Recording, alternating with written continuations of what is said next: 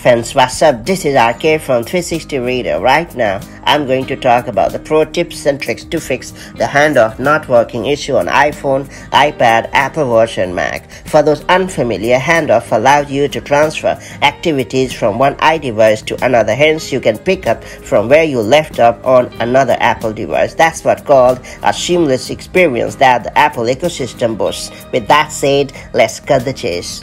Before getting started, make sure you have subscribed our YouTube channel and hit the bell icon so that you won't miss any update from 360 Reader.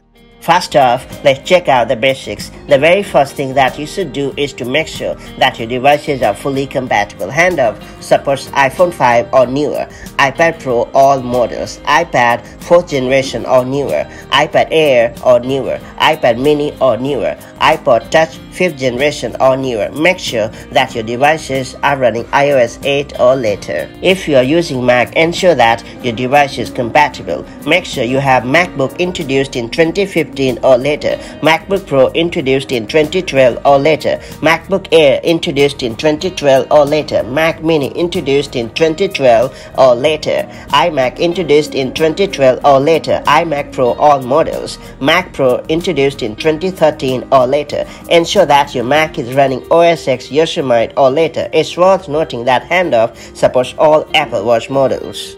Once you have checked out the basic requirement, make sure that apps are compatible with Handoff as well. The first-party apps that support Handoff include Mail, Maps, Safari, Reminders, Calendar, Contacts, Pages, Numbers, Keynote, etc. There are quite a few third-party apps that support Handoff. Some of the popular ones are Carrot Weather, Fantastical 2 Bear, Drafts, Invite Terms, Pocket, etc.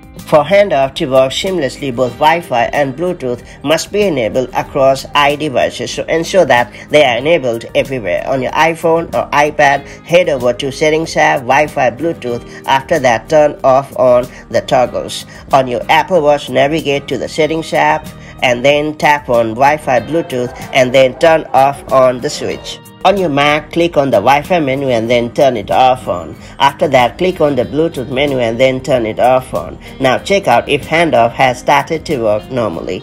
Simply open an app like Mail or Safari that works with handoff. After that, use the app to start a task such as writing an email or document. Next, continue on your other device. If you are switching to your Mac, click the app's handoff icon in the dock. If you are switching to your iPhone, iPad or iPod Touch, open the app switcher as you would like when switching between apps. Then tap the app banner at the bottom of the screen.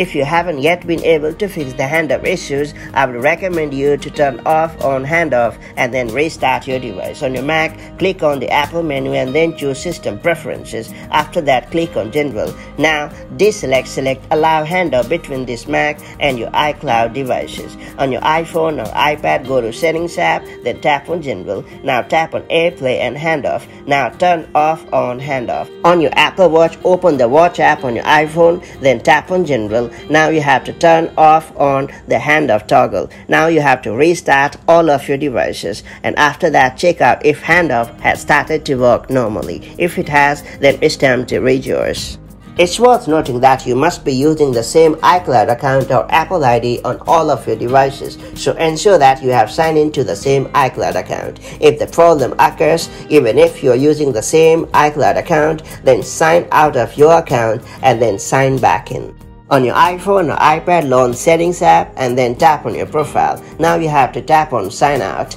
After that you have to wait for some time and then sign back in. Do know that Apple Watch uses the same Apple ID as the paired iPhone. On your Mac, launch System Preferences and then click on Apple ID. After that, click on Overview and then click on Sign Out. Now wait for some time and then sign back in to your iCloud account. If you are yet to fix the handoff issues on your iDevice, then I guess the problem could be due to a software bug. And in this case, the best way to get rid of the problem is to go for the software update. More often than not, Apple rolls out software updates with plenty of bug fixes and performance enhancements. That's why it's always recommended to keep the software updated to the latest version. On your iPhone or iPad, launch Settings app and then tap on General. Now tap on Software Update and then download and install the latest latest version of iOS or iPadOS on your device. On your Apple Watch, open the Watch app, then tap on General, then tap on Software Update, and then download and install the latest version of WatchOS on your Apple Watch. On your Mac, launch System Preferences, and then click on Software Update. After that, download and install the latest version of macOS on your Mac. That's all there is to it. Hopefully you have been able to fix the handoff issues on your iDevice. Now that you have been able to get rid of the issues, let me know your feedback down below in the comment section. And I'll see you in the next video with more such helpful tips and tricks. Till then, have a great time. Bye-bye.